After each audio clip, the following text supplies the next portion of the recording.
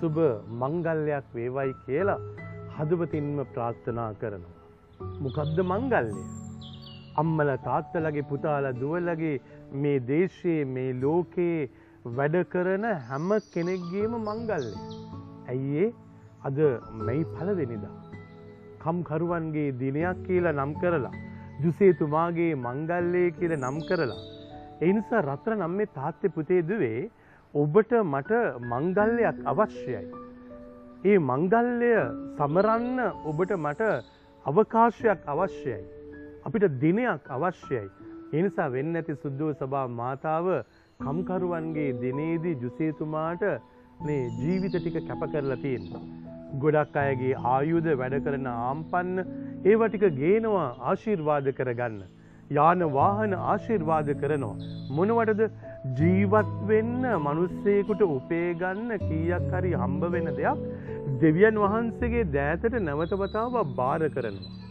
එතකොට දැම් මේ ජුසේතුමාගේ ජීවිතයට අරුතක් ලැබුණෙක් කොහොමද කියලා වෝත්කාරය මේ ජේස්වාමින් වහන්සේගේ ජීවිතයත් එක්ක බද්ධ වුණ නිසා තමයි.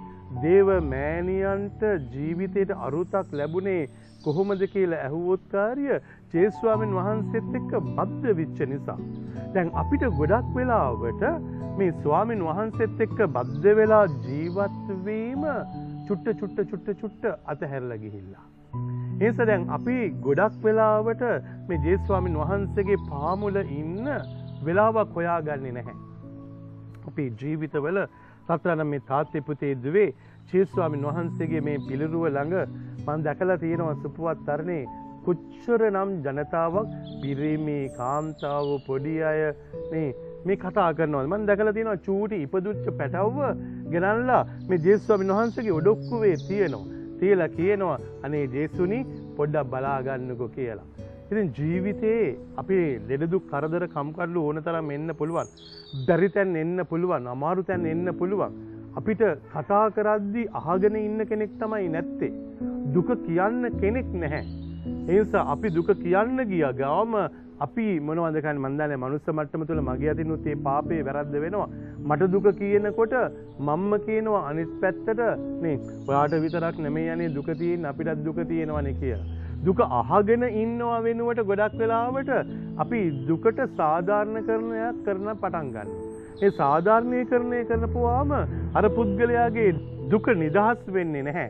හැබැයි ජේස්වාමින් වහන්සේ ළඟට ඇවිල්ලා දුක කියනකොට උන්වහන්සේ අහගෙනම ඉන්නවා විතරක් නෙමෙයි උන්වහන්සේ අපිව නිසි තැනට යොමු කරනවා. ජුසේතුමා ළඟට නම් යොමු කරන්නට ඕනේ ජුසේතුමා ළඟට යොමු කරනවා. දේව මෑණියන් ගාවට නම් යොමු කරන්නට ඕනේ දේව මෑණියන් ගාවට යොමු කරනවා. ශුද්ධාත්මයන් වහන්සේ ගාවට නම් යොමු කරන්නට ඕනේ ශුද්ධාත්මයන් වහන්සේ ගාවට යොමු කරනවා. දේව තාත්තා ගාවට නම් යොමු කරන්නට ඕනේ දේව තාත්තා ගාවට යොමු කරනවා. ඒ නිසා රත්තරනම් මේ තාත්ති පුතේ දුවේ. ගොඩක් වැදගත් වෙන්නේ මේ මොහොතේදී උන්වහන්සේගේ පාමුලෙන් ඔබ ඈත් වෙලා යන්න එපා. ජීවිතේ මොනතරම් ප්‍රශ්න කරදර බාධක ආවත් උන්වහන්සේගේ ඇස් දෙක බලාගෙන කියන්න ජේසුනි මට දරාගන්න බෑ මට ඉවසන්න බෑ මට තේරෙන්නේ නැහැ මට ඇයි මෙහෙම වුණේ කියලා දන්නේ නැහැ. නමුත් ඔබ වහන්සේ මේ පොළොතලයේ ජීවිතුන් අතර ඉන්න තාක්කල් අන්තිම තප්පරයේ මොහොත දක්වා වැඩ කරන්න ශක්තියක් දෙන්න. එනිසා මේ වැඩ කරන්න ශක්තියක් ඕනේ. කම්මැලි වෙන්න නම් අපිට දේවිකත්වයක් ඕනේ නැහැ. ඔහේ පැත්තකට වෙලා නිදාගෙන ඉන්න නම් ප්‍රශ්නයක් නැහැ. බැනුම් අහගෙන කොහොමද වැඩ කරන්නේ? තාඩන පීඩන මැද්දේ වැඩ කරන්නේ කොහොමද?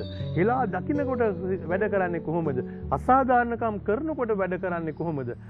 ඒ වැඩ කිරීම තමයි සුද්ධවන්ත ක්‍රියාදාමය. ඒ නිසා ගොඩක් අය කියන්නේ මෙතන නම් මට සුදුසු නෑනේ. ඒගොල්ලෝ මාව තල්ලන පෙළනවා. ඒ නිසා මම දාලා යනවා. ඊට පස්සේ තවත් තැනකට යනවා. ඒගොල්ලෝ කියනවා ඒගොල්ලෝ මාව ගණන් ගත්තේ නෑනේ. ඒ නිසා මම එතනින් දාලා යනවා. ඊට පස්සේ තවත් තැනකට යනවා. ඒගොල්ලෝ ඒගොල්ලෝ මේ මොහොතේදී මට නිසි පඩියක් දුන්නේ නෑනේ. එතනත් දාලා යනවා. ඒ නිසා හැම වෙලාවෙම වැඩ කරන කෙනෙක් වශයෙන් අපි අහන්න ඕන එක ප්‍රශ්නයක් තියෙනවා. මට මොනවද ඒගොල්ලෝ වෙනුවෙන් කරන්න පුළුවන්. මේක තමයි අහන්න තියෙන සුද්ධවන්ත ප්‍රශ්නය. ඒගොල්ලන් මොනවද මට කරන්න කියන එක නෙමේ මට මොනවද ඒ හැ වෙනුවෙන් කරන්න පුළුවන් කියලා. ඒක තමයි ජුසේතුමා කරේ ඒක තමයි දේව අම්ම කරේ ඒක තමයි ජේස්වාමින් වහන්සේ කරේ ඒක තමයි සියලුම මුනිවර මුනිවරයන් කරේ. ඒගොල්ලන්ට දේවල් කරගත්තේ නැහැ ඒගොල්ලු අනිත් ඇ වෙනුවෙන් ජීවිතය පූජා කරා. එනම් ඔබටත් මටත් ආරාධනා කරනවා ස්වාමින් වහන්සේ අද වගේ ශුද්ධ වූ දවසක අනිත් අය වෙනුවෙන් ජීවත් වෙලා අනිත් අයව සතුටට පත් කරලා අනිත් අයගේ ආත්ම ගලවලා අනිත් අයගේ ජීවිතයට පන්නරයක් දීලා මේ පොළොව තලයේ සතුට සිතින් ජීවත් වෙලා මේ ඇදෙන්න කියලා. චේසු පිහිටයි සුබ මංගල්‍යයක් වේවා.